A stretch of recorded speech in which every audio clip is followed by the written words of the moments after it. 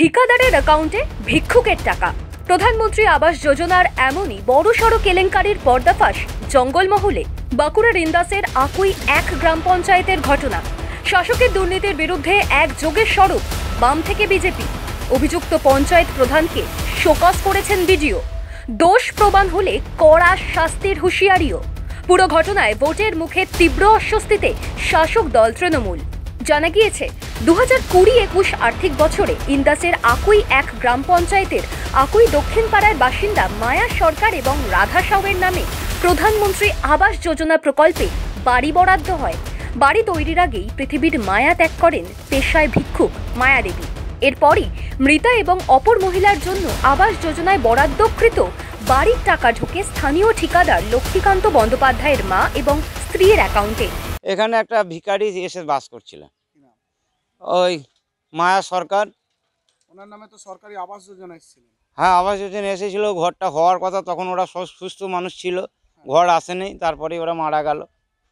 ঘরের টাকাটা? ঘরের টাকাটা ঘর তো বললে দেবো দেবো করেই চলে গেল ঘর তো আর হয় না।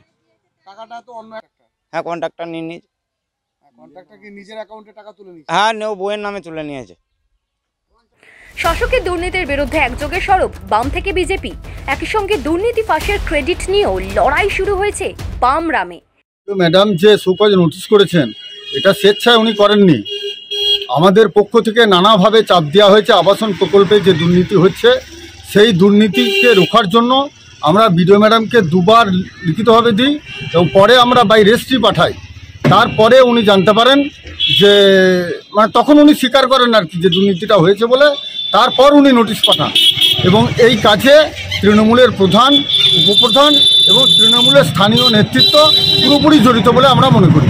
আন্দোলন করেছিলাম ইন্ডাসে পঞ্চায়েতে ব্লকে, তার ফল পেলাম আমরা। তো আমি ধন্যবাদ জানাই ভিডিও ম্যাডামকে যে উনি সাহস করে এই সকল জোড়াটা পাঠিয়েছেন। অন্যান্য ভিডিও সাহেবদেরকে আমি আগ্রহ করব যে এই সমস্ত জায়গায় যে ঘটনাগুলো ঘটছে, তারাও যেন সেই সকলগুলো পাঠায়। প্রত্যেক জায়গায়, আপনি দেখবেন আমাদের জেলার প্রত্যেকটা পঞ্চায়েতে এরকম ঘটনা ঘটেছে। আর এটা একমাত্র বিজেপির আন্দোলনের জন্য এটা প্রকাশ পাচ্ছে। একশো পার্সেন্ট তৃণমূল ছাড়া আছে কে? কাটমানি তৃণমূল আবার অপর নাম দুর্নীতি। So, এইটাই ওদের। তৃণমূলই করছে সব কিছু এদের।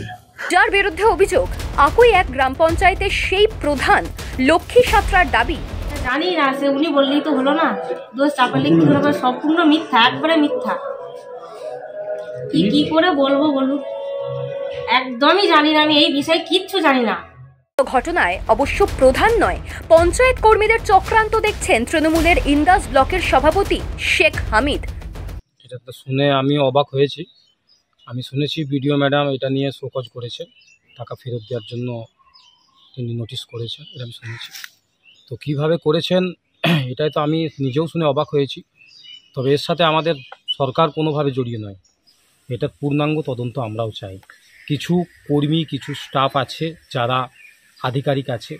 যারা এগুলোভাবে চক্রান্ত করবে আর আমাদের সরকার ফেঁসে যাবে এটা হতে পারে না।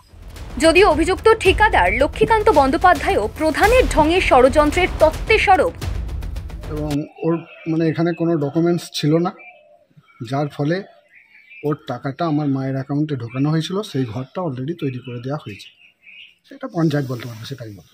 এটা সম্পূর্ণ বিডিও অফিস পঞ্চায়েতের থেকেও ওটা সম্পূর্ণ দায়ভার হচ্ছে বিডিও অফিসে আমার অভিযোগ বলতে অন্য কিছু অভিযোগ নয় আমাকে আমাকে না জানিয়ে ঢুকিয়ে দেওয়া হয়েছে। কারণ আমার ডকুমেন্ট এমনি আমি অনেক পরবর্তীকালে কন্ট্রাক্টারি করতে আসি। অনেক ডকুমেন্ট আমার পঞ্চায়েতে পড়ে থাকে।